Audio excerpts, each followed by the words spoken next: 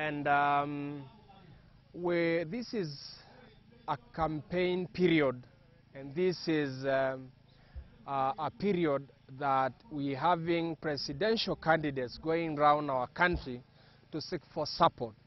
It is also a moment that the presidential candidates tends to uh, endorse uh, preferred candidates.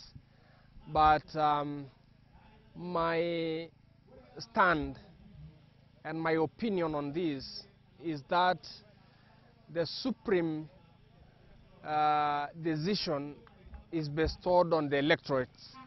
They are the ones who hold the decision. We need to give all of us a fair platform for uh, the people of Kajiado to elect whom they trust, whom they think that services are going to be de delivered. So I advocate, but people to be given a competitive process. Let us go to nomination, let us go to the people, let the people decide, not the leaders decide. It's going to be so far better.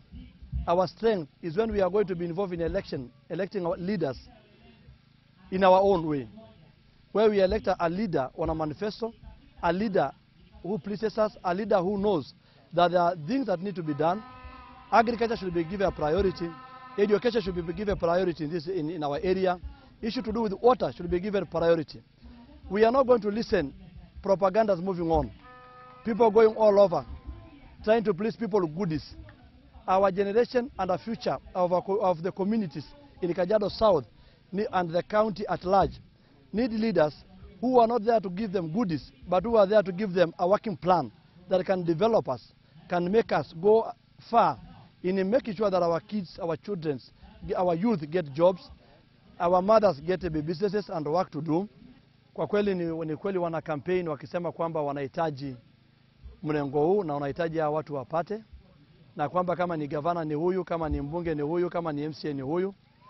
Kwa kweli hiyo haileti haki, kwa sababu wananchi wanataka wapewe nafasi wajichagulie viongozi wao. Kipindi cha kubebwa na chama imeisha. Hii ni kipindi kila mtu anauza sera zake na kujua kwamba nenda pamoja. Wakazi wa Kajiado South wanapendelea mahali ambapo wanauzishwa, wanapendelea viongozi ambao wanakaa pamoja. What we want to say, ever since independence our people have been marginalized for quite some time, or for all those years since 1963. And we want a situation whereby we do not want leaders to be imposed on us because we are also citizens of this country. And if there is a way, if there is a way in Kajiado County, in Kajiado County, we want some seats to be preserved for the Maasai people. Eh, maneno ya viti eti fulani ndiye atachukua hii, fulani ndiye atachukua hii, wananchi ndio wataamua.